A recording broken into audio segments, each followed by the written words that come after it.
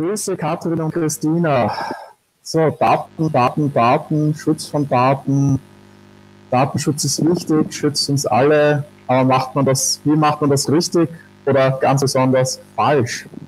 Katrin, du beschäftigst dich ja professionell mit dem DSGVO und Christina, du bist Hexe, IT-Sicherheitsbeauftragte, aktiv bei CryptoPartys und beschäftigt sich ebenfalls aktiv mit Datenschutz. Und äh, ich habe gehört, bei eurem Talk geht es um die kreative Umsetzung und äh, falsch verstandenen Datenschutz. Dann, äh, ja, bitte zu eurem Talk.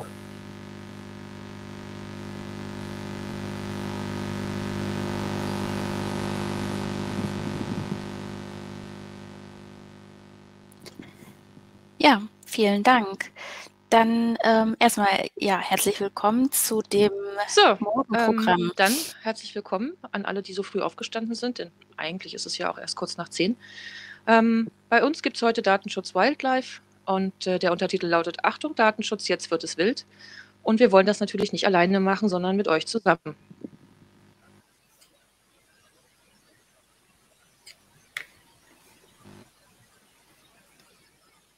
Genau. Ich bin Christina und wie der Harold mich ja auch schon vorgestellt hat, äh, mache ich so Dinge mit IT-Sicherheit und Datenschutz. Und äh, hier findet mich auf äh, Twitter unter CSS-Mate. Wir wollen gerne das den, äh, auch jetzt schon interaktiv gestalten. Ihr seht da den Link zum äh, Fragen zu stellen oder eben auch um schon an Abstimmungen teilzunehmen. Wir wollen mit euch zusammen abstimmen, ist das noch Datenschutz, ist das Kunst oder kann es weg?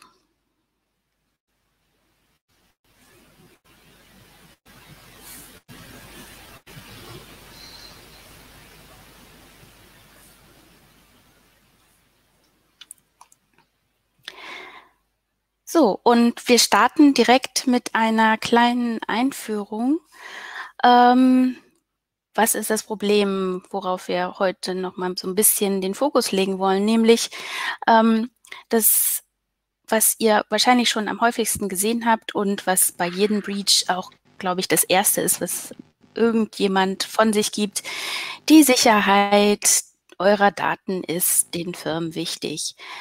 Warum ist das so putzig? Naja, also es ist mir als Verbraucherin, als Userin eigentlich komplett egal, ob das äh, der Firma oder den entsprechenden Portalen wichtig ist.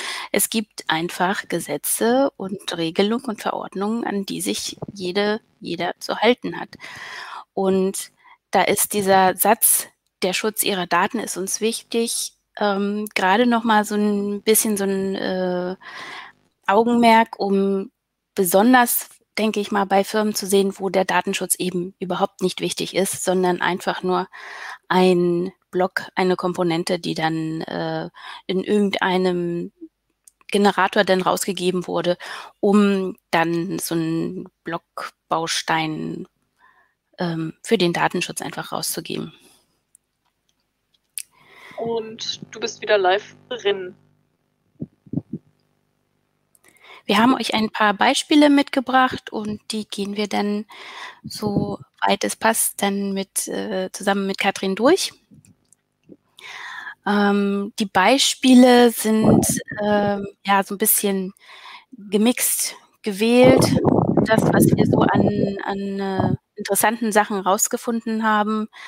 Und ähm, ja, zusammen mit euch wollen wir das dann durchgehen und schauen, ob das hier noch Datenschutzumsetzung ist, ob das ein Kunstwerk ist, was nochmal irgendwo äh, besonders behandelt werden sollte oder vielleicht irgendwo aufgehangen werden, oder ob es einfach auch wirklich Trash ist und weg kann.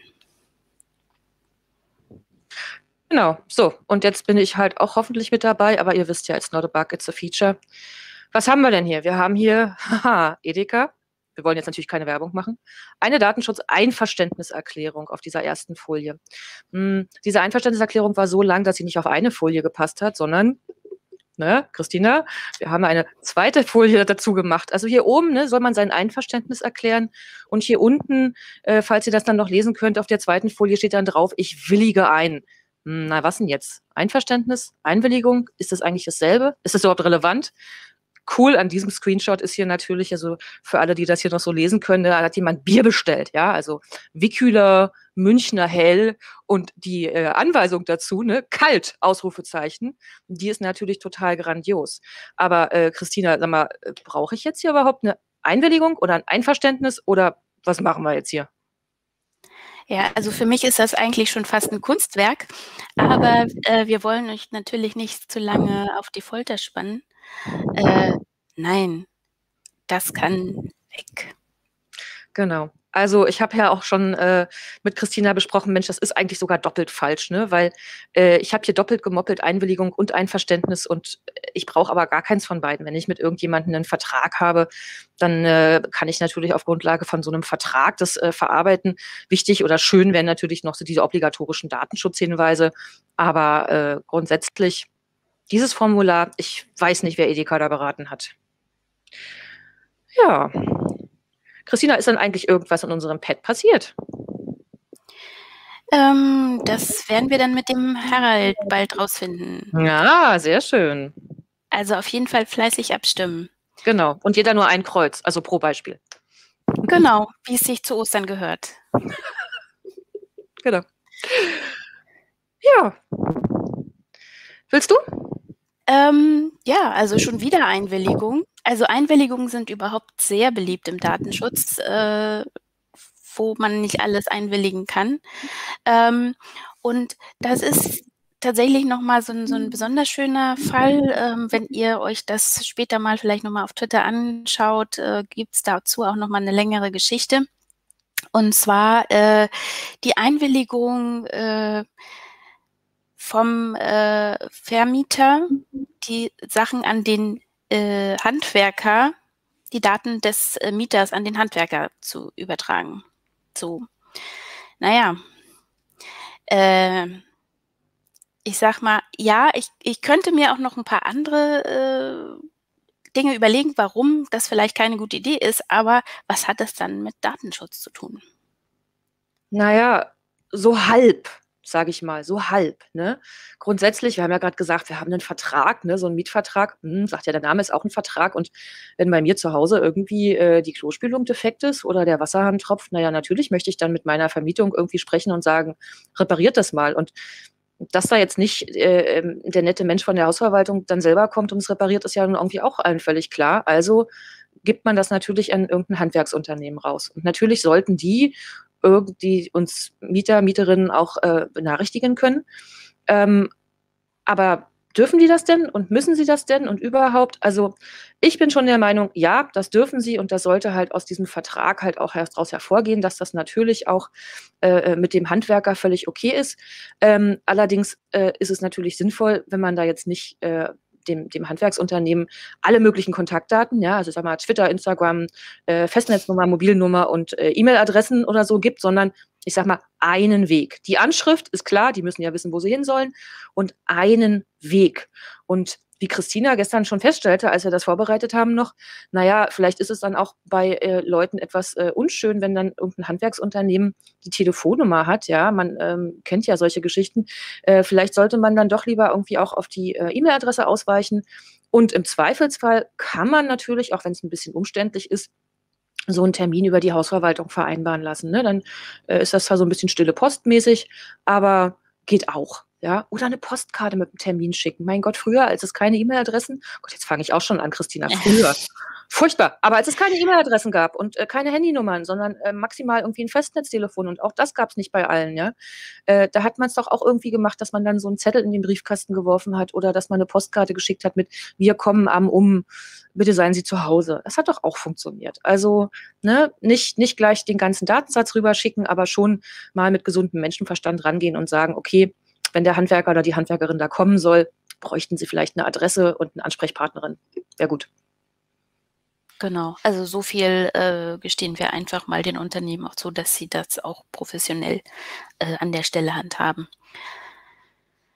Ähm, ja, mhm. Und äh, weiter geht's mit unserer lustigen Show. Ähm, Musterfax. Ähm, naja, also äh, für diejenigen, die das vielleicht jetzt so, äh, noch nicht so ganz erkennen können, aber wir beabsichtigen, Ihnen ein Fax mit personenbezogenen Daten zuzusenden. Um die Bestimmung des Bundesdatenschutzgesetzes einzuhalten, bitten wir Sie, den Eingang durch ein Gegenfax zu bestätigen und sicherzustellen, dass nur autorisierte Personen das Fax empfangen. That's not how fax works. Nicht so richtig. Ich meine, natürlich ist es schon sinnvoll, wenn man sich mal Gedanken darüber macht, wer am anderen Ende so ein Fax bekommt. Ne? Wenn man das jetzt in irgendeine große Behörde schickt oder äh, irgendein großes Unternehmen und da gibt es eine zentrale Faxnummer und ich schicke da als Betriebsärztin äh, die Gesundheitsdaten und die, die Befundstellung äh, von irgendwie dem Kollegen XY hin, so an diese eine zentrale Faxnummer, weiß nicht. Ist wahrscheinlich keine gute Idee.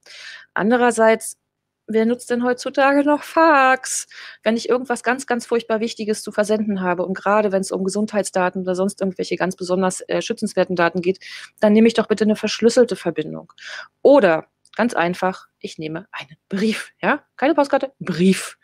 Pack das da rein, klebt das zu, stell das zu. Und mittlerweile ist die Post ja nun auch nicht mehr irgendwie zu Pferd und Kutsche unterwegs, ja, äh, sondern die Post, wenn man das irgendwie abends irgendwo reinwirft, dann ist es in der Regel am nächsten Tag auch da. Also der große Zeitverlust ist es da auch nicht mehr.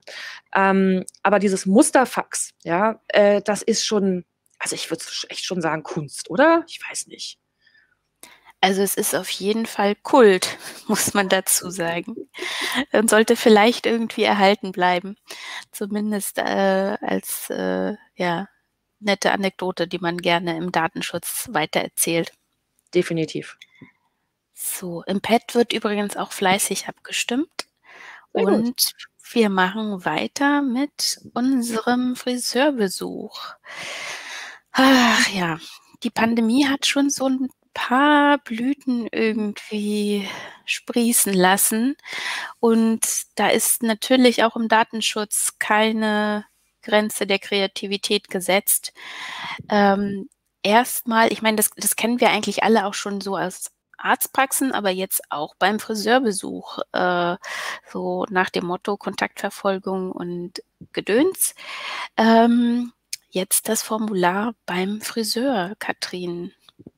Also ich bin ja relativ begeistert von diesem Formular, weil es sich ja offenkundig um einen Zettel handelt, den quasi äh, der Besucher oder die Besucherin ja einzeln bekommt. Ich glaube, das kennen wir ja alle, wenn wir irgendwo hingehen und oder gingen damals, damals, als die Restaurants noch offen, öffnen durften. Ne? Ähm, und dann bekam man so eine Unterschriftenliste, ja, wo man davor schon irgendwie die letzten 30 Leute gesehen hat, die sich eingetragen und man wusste ganz genau, die 20 Menschen, die nach einem kommen, die sehen dann auch alle möglichen Angaben. Das war natürlich überhaupt nicht datenschutzkonform, ja, selbstverständlich nicht, ähm, sondern da gab es dann halt von den entsprechenden Gewerkschaften oder von den anderen Sachen, ähm, also ne, irgendwie DEHOGA oder äh, andere Leute, haben dann auch Listen rausgegeben und haben gesagt, diese Listen sind für euch intern, damit ihr das vielleicht nochmal zusammenfassen könnt. Aber pro Person bitte einen so einen Zettel und den Zettel dann zusammenfalten und gut verwahren, in einem Briefumschlag, in eine Wahl ohne whatever. Und insofern ist dieses äh, äh, Bildchen, Christina, du kannst ja eben noch mal kurz zeigen, ne? das ist also, man sieht, da ist halt eine Person, hat da irgendwas unterschrieben und was sie unterschrieben hat, ist glücklicherweise keine Einwilligung oder irgendwas, sondern es ist nur die Zusicherung, äh, dass die Person halt nicht krank ist, ne? kein Husten, kein Schnupfen, keinen Geruchsverlust hat. Also dieses, ich bin irgendwie halbwegs gesund, naja, lassen wir mal dahingestellt, ob das jetzt auch wirklich äh, so sinnvoll war, aber ein Zettel pro Nase. Und darunter gibt es halt Datenschutzhinweise. Und diese Hinweise sind natürlich notwendig, denn auch wenn äh, so eine Friseurin oder ein Friseur dazu verpflichtet ist, gesetzlich diese Daten zu erheben, ne, diese Kontaktnachverfolgung, das steht in jeder der einzelnen äh, 16 Landesverordnungen zum, äh, zur Corona-Geschichte drin muss äh, uns als äh, ja, ähm, Frisierwilligen sozusagen ähm, ja auch gesagt werden, was mit diesen Daten gemacht wird. Das ist quasi auch eines der Rechte, die sich aus dieser Datenschutzgrundverordnung ergeben, dass wir äh, die Informationen bekommen, wie diese Daten verarbeitet werden. Und das haben die ja echt ganz gut gemacht. Haben halt reingeschrieben, ne, warum, wieso, weshalb und dass das eben mit dieser Verordnung zu tun hat. Ähm, dass wir bestimmte Rechte haben, dass wir uns auch irgendwo beschweren können. Aber wirklich der Megaknaller ist die, diese Frist. Ne? Man soll nämlich immer mit dazu schreiben, wie lange werden die Daten aufbewahrt. Das ergibt genau. sich im Zweifel auch aus der Verordnung. Also bei uns in Berlin zum Beispiel sind es vier Wochen.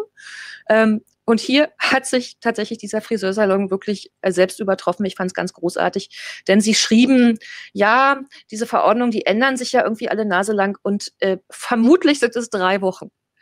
Hm, die Kolleginnen und Kollegen auf Twitter kommentierten das mit, das ist wahrscheinlich die ehrlichste Angabe zu Löschfristen, die sie jemals gesehen haben.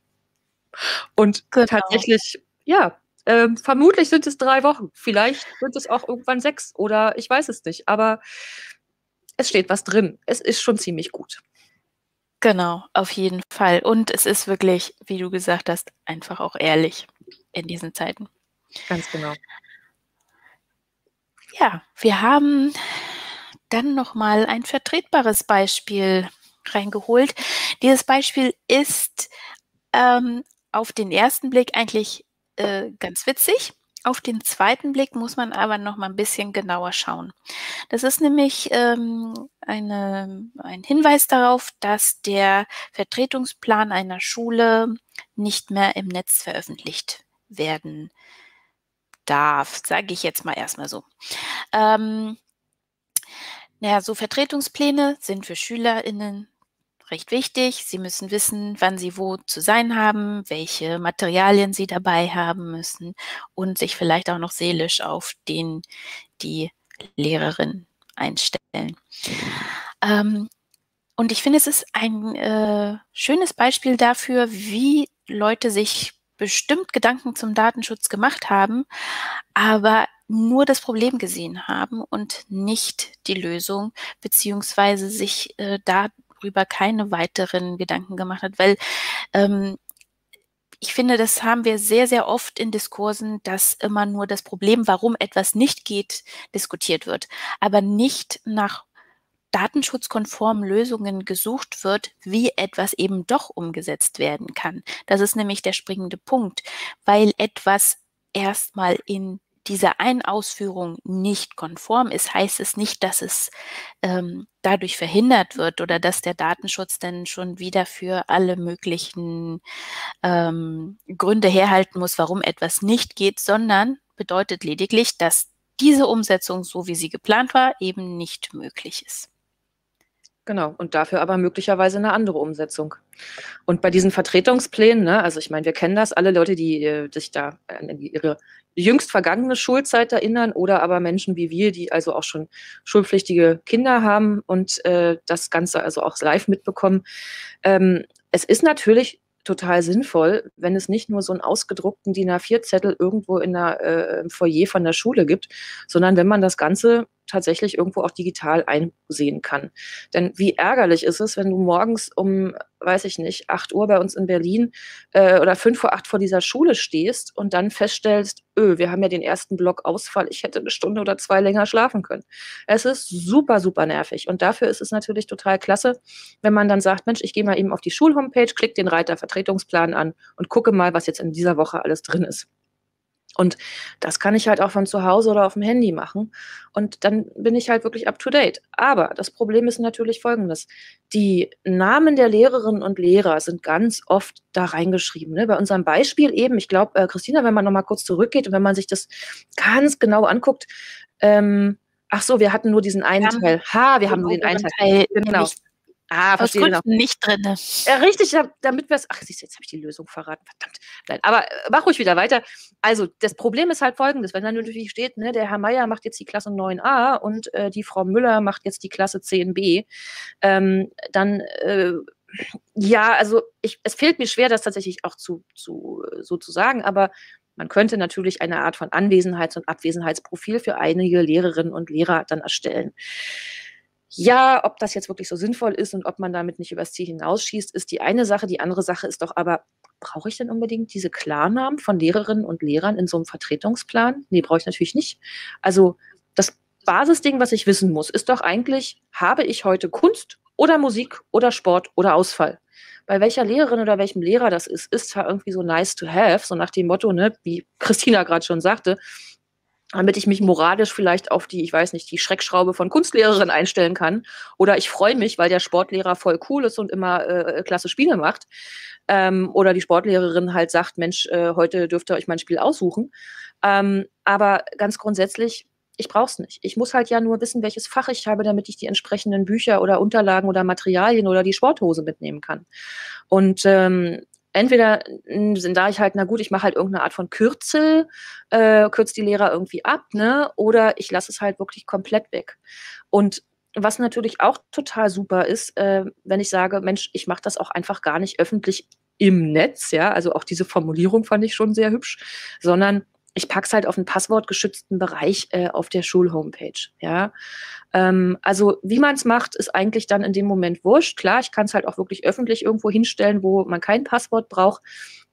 Wenn da wirklich nur die Klasse genannt ist, äh, das Fach, was entfällt und das Fach, was dafür unterrichtet wird.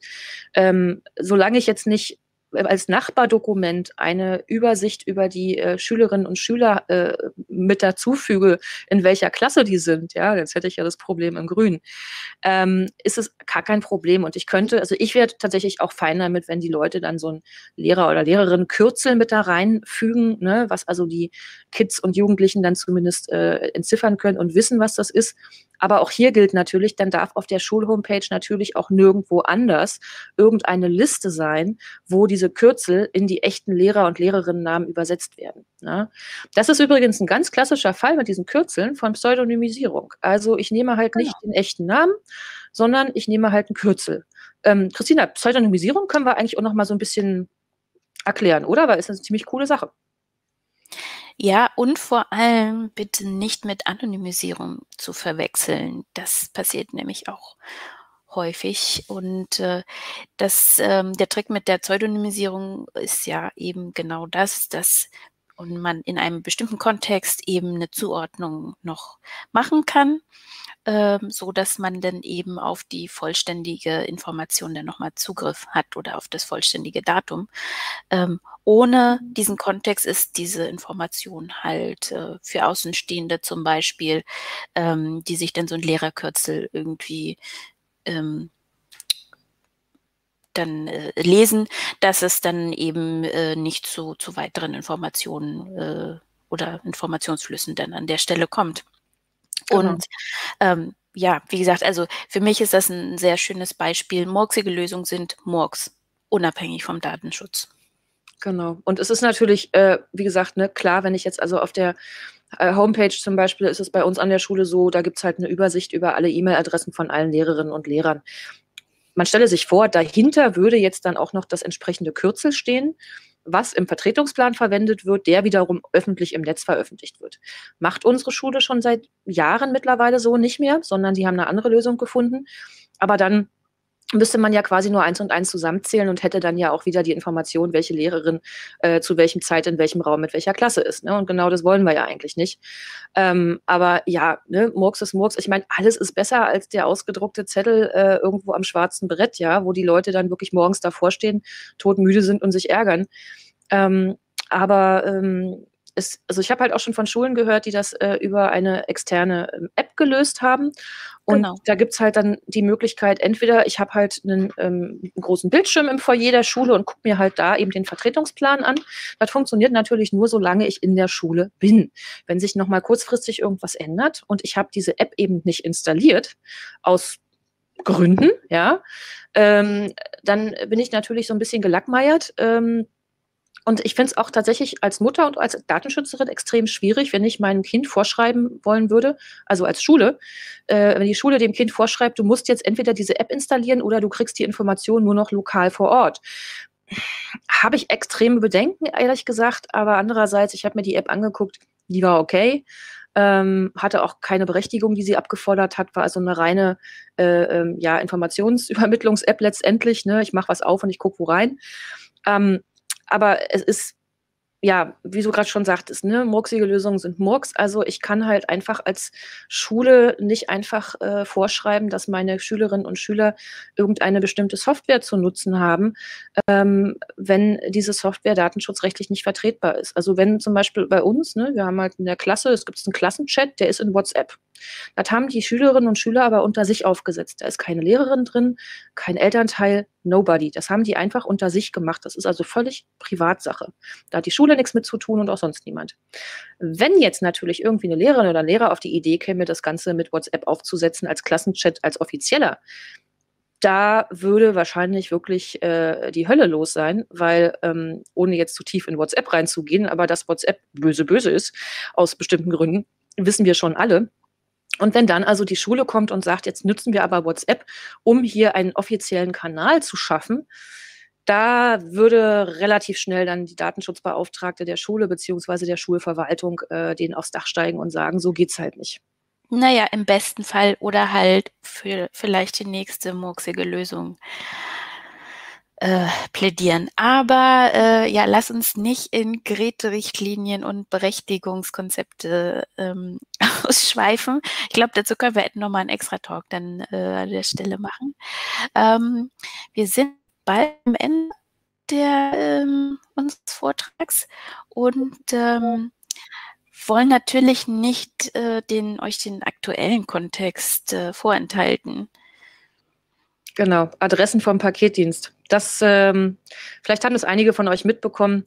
Ähm, in Niedersachsen war es so, dass die Leute über 80 Jahre eingeladen werden sollten. Und damit die, äh, das arme Sozialministerium das jetzt nicht alles alleine machen musste und da die Leute halt Briefe zukleben mussten, haben sie gesagt, Mensch, wir nehmen jetzt vielleicht einen externen Dienstleister, zum Beispiel die Deutsche Post.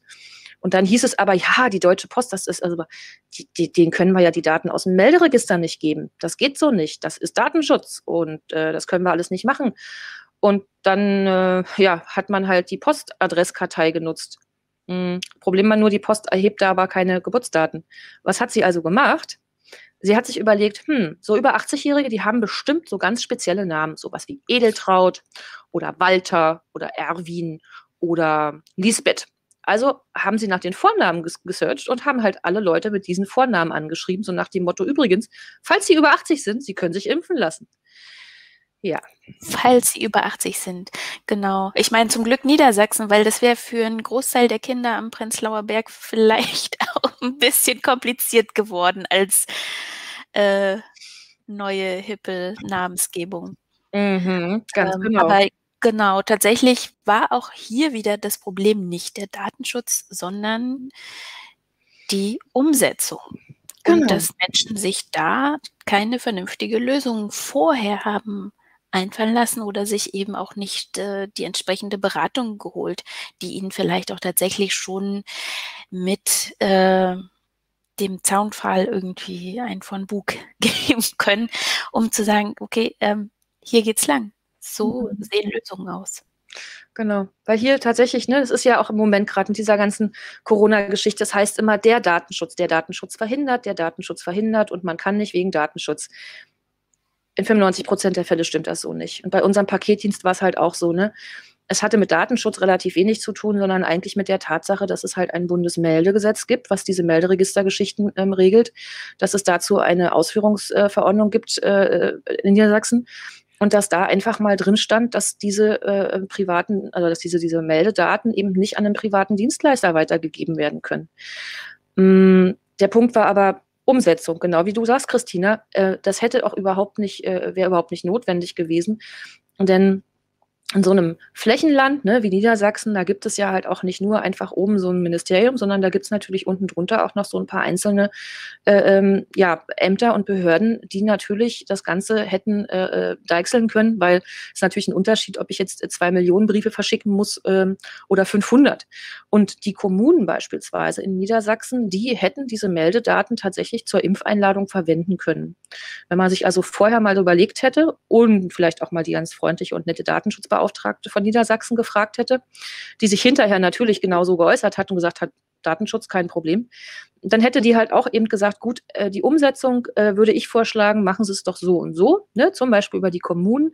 Dann haben Sie das Problem mit diesem privaten Dienstleister nicht und dann haben Sie das Problem nicht, dass Sie jetzt Rätselraten spielen müssen, ob jetzt Edeltraut schon 80 ist oder nicht. Oder vielleicht erst fünf. Und das ist mal wieder ein klassischer Fall von, ähm, man hat vorher nicht gut genug drüber nachgedacht, beziehungsweise man hat die erstbeste Lösung genommen, äh, die man gefunden hat, ähm, ohne darüber nachzudenken, ist es denn die beste Lösung? Gibt es vielleicht noch was anderes? Und als man dafür dann Schelte bekommen hat, da durfte dann quasi wieder ähm, der Prügelknabe Datenschutz ins Feld. Genau. Und wir sind dann eigentlich auch schon am Ende unserer Zeit angekommen. Ähm, wir haben noch dieses kleine Leckerli ganz zum Schluss. Wir müssen das auch, glaube ich, gar nicht großartig kommentieren. Cookies. Cookies. Da sind jetzt Sachen, also da hat sich jetzt tatsächlich etwas herauskristallisiert, wo ich als Datenschützerin und auch Christina, äh, wir, wir haben uns da beide angeguckt und haben gesagt, was ist das denn? Es ist völlig klar, dass wenn man so Cookies setzen möchte, so Tracking- oder Marketinggeschichten, dass man dafür eine Einwilligung braucht. Das wird auch gar nicht diskutiert und natürlich gibt es halt einen Schieberegler und den Schieberegler muss ich auf Anstellen oder ich muss klicken, alle Cookies akzeptieren, irgendwas. Aber es gibt ja noch ein paar mehr Rechtsgrundlagen, nach denen man eben solche Daten verarbeiten darf. Ne? Wir haben vorhin den Vertrag kennengelernt und es gibt auch noch eine Grundlage, die nennt sich berechtigtes Interesse. Wenn ich also als Unternehmen sage, ja klar will ich Marketing betreiben, das ist ja äh, für mich wichtig als Unternehmen, dann habe ich daran ein berechtigtes Interesse und ich als Verbraucherin, die ich sage, pff, ist ja schön, ich will aber dein blödes Marketing gar nicht haben, kann widersprechen. Ne? Das heißt, es ist also genau umgedreht äh, wie, zum, wie zum Einverständnis oder zur Einwilligung. Und das hat ein ganz lieber Kollege von mir mal so beschrieben, der sagte, bei der Einwilligung, ne, da wird erst gefragt und dann geschossen. Und beim berechtigten Interesse, da schießt man erst und dann fragt man, ob es okay war. Und äh, dieses berechtigte Interesse hat aber jetzt hier einfach mal einen ganz großen Pferdefuß, wenn ich sage, ja, okay, mein Direktmarketing, mein Tracking, ähm, das ist berechtigtes Interesse. Da steht der Schieberegler aber auf an.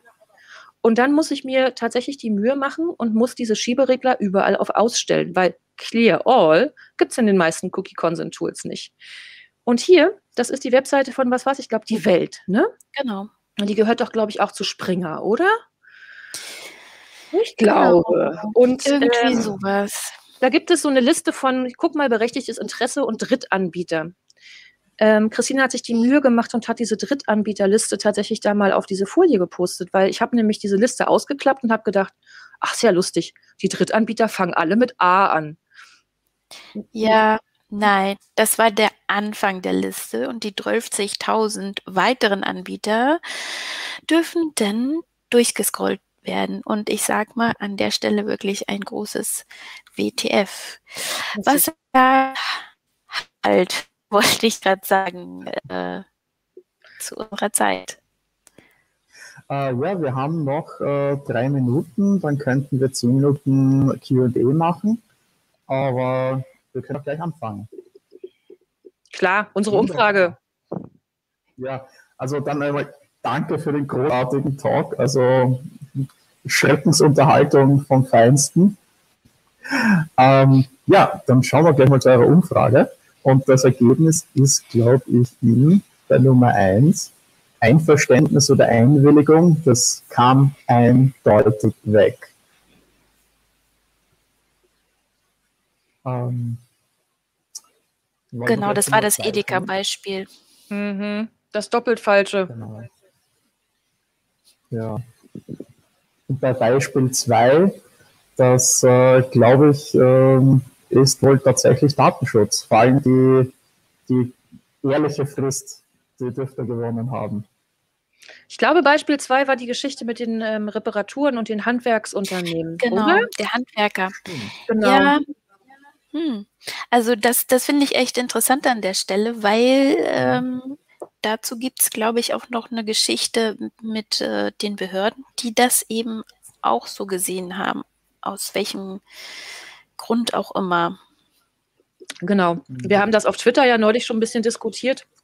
Da hat sich, haben sich zwei sehr liebe Kollegen äh, tatsächlich am, äh, kurz nach der äh, DSGVO, nach dem Start sozusagen, ne, als sie scharf geschaltet wurde, ähm, hat sich so ein Hashtag bei den beiden so ein bisschen etabliert, X-Files GDPR. Und ähm, einige unserer Beispiele stammen halt tatsächlich auch aus dieser Sammlung. Und ähm, wir haben dann neulich auch gedacht, na klar ist das so ein X-Fall, das ist doch völlig gaga. Und dann meldete sich aber äh, ein ganz lieber Kollege aus dem süddeutschen Raum und sagte, ich habe von den Behörden exakt diese Auskunft bekommen. Ich darf das nicht weitergeben. Und da haben uns echt ein bisschen die Ohren geschlackert und wir haben gedacht, so, das kann ja eigentlich nicht sein. Aber tatsächlich sind auch nicht alle Behörden dieser Meinung. Und das ist auch eins der ganz großen Probleme in Deutschland, was wir jetzt ähm, auch an dieser ganzen Corona-Geschichte sehen. Der Föderalismus ist grundsätzlich eine schöne Sache, ja, ist eine gute Idee. Aber in bestimmten Bereichen, ähm, gerade wenn es jetzt um eine Europa, Welt, bundesweite Pandemie geht, ist es natürlich extrem schwierig, wenn dann alle 16 Bundesländer ihr eigenes Süppchen kochen. Und so ist es mit Datenschutz auch. Ne? Na klar, wenn jetzt einige sagen, aber es gibt doch einen Bundesdatenschutzbeauftragten. Aber ja, genau. der, ist genau. ja, der ist ja nicht die Aufsicht, der ist halt einfach nur für bestimmte Bundesbehörden zuständig, Telekommunikationsunternehmen, ich glaube Krankenkassen auch. Ähm, und diese ganzen 16 einzelnen Länderbehörden ne, mit ihren äh, ähm, Menschen an der Spitze, die sind halt weisungsunabhängig. Und was glaubt ihr, wie oft mir das schon vorgekommen ist in meiner Anwaltspraxis, dass ich halt irgendwelche Unternehmen berate und erstmal fragen muss, sagt mal, wo seid ihr denn eigentlich so handelsregistermäßig eingetragen? Mir überlegt habe, ah, das ist die Datenschutzbeauftragte von so und so und in dieser Frage hat die meistens das und das entschieden, dann berate ich die mal so und so. Das ist doch völlig blöd. Also ich meine, wir haben hier ein ja. Europarecht und ein Bundesrecht und das muss, müsste überall gleich gehandhabt werden. Müsste. Aber Beratung, so hm. wichtig. Was sagen die anderen Beispiele? Ja, das Beispiel 3, das war das Musterfax. Ähm, beschreibt noch mal kurz, worum es ging. Genau, das war die Einwilligung, per Fax ein Fax zu schicken.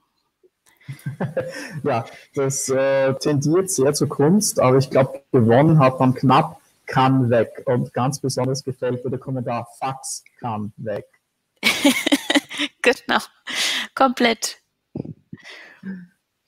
Richtig. Dann Beispiel, ja. Hm? Dann Beispiel 4, der Friseur. Ähm, ja, kann weg nach drei Wochen, was, glaube ich, ein gutes Beispiel ist für, hier hat der Datenschutz gewonnen. Die Einwilligung mit dem äh, Zettel. Genau, das ist Datenschutz, kann aber nach drei Wochen weg. Sehr schön. Genau, genau, das ist tatsächlich richtig. Ne? Und genau, es war, war nämlich gerade ja keine Einwilligung. Ne? Das habe ich halt auch ganz oft auf diesen Formularen gesehen, von wegen, die Leute sollten sich bitte einverstanden erklären damit, dass ihre Kontaktdaten gespeichert und verarbeitet werden. Das ist Quatsch. Wenn ich eine, eine, gesetzliche Grundlage habe, wenn also irgendein Gesetz dem Gastwirt oder der Gastwirtin vorschreibt, diese Sachen äh, zu erheben und zu erfassen und nach vier Wochen durch den Schredder zu jagen, mhm. dann brauche ich da nicht noch eine Einwilligung. Ja, also dieses, dieser Einwilligungsmythos. Ich weiß nicht, Christina, wie ist das bei dir? Ich bin es echt leid, dass die Leute mir ständig erzählen, aber ich brauche eine Einwilligung, ansonsten geht das doch alles nicht. Also Einwilligungen sind auf jeden Fall Kunst.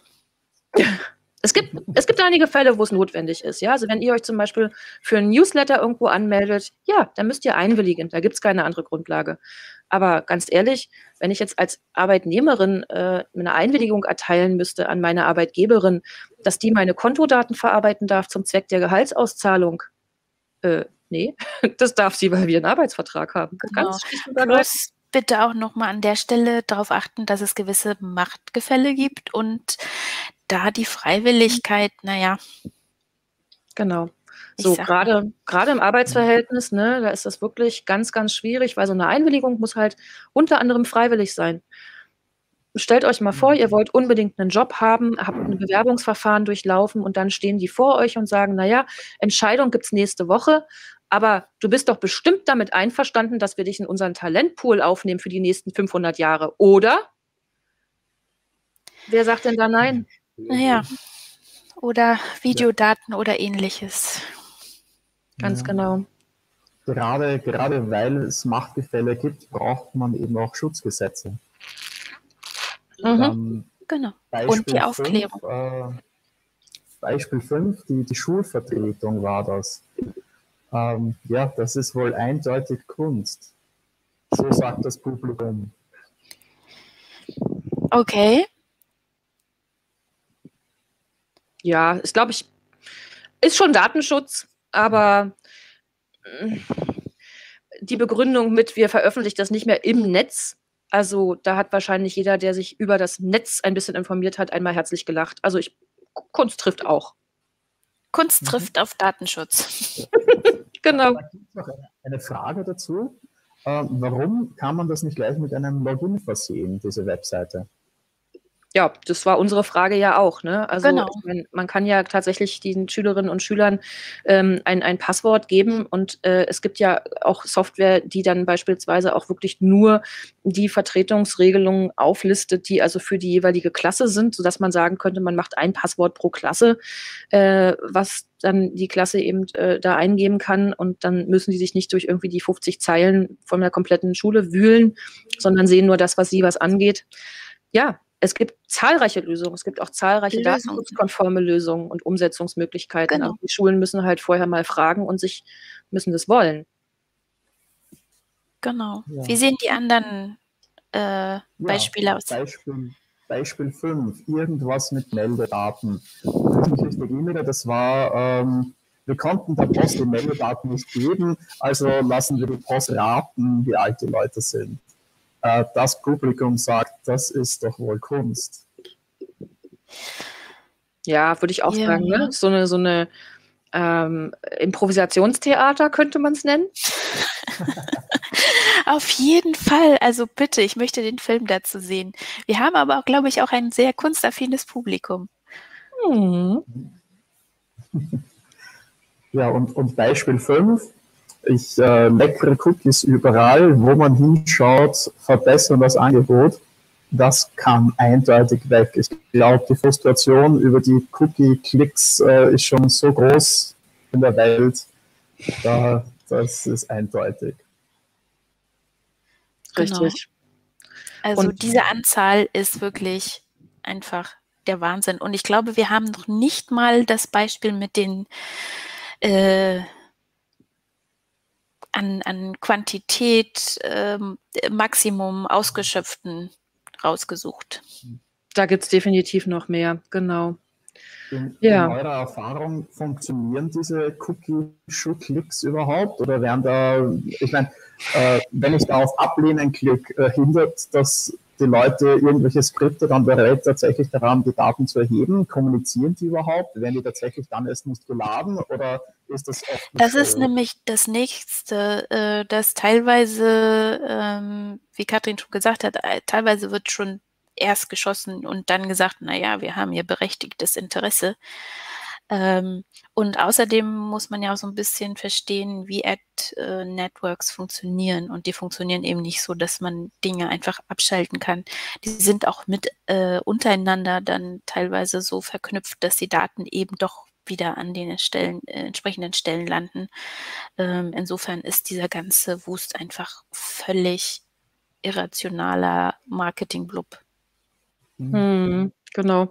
Und ich meine, natürlich ist es so, es gibt ja, so Cookies persönlich an sich sind ja nicht böse. Es gibt auch Cookies, die sind notwendig. Die sind notwendig, um den fehlerfreien Betrieb so einer Webseite zu ähm, gestalten. Ähm, und in die muss man dann in der Regel natürlich auch nicht einwilligen.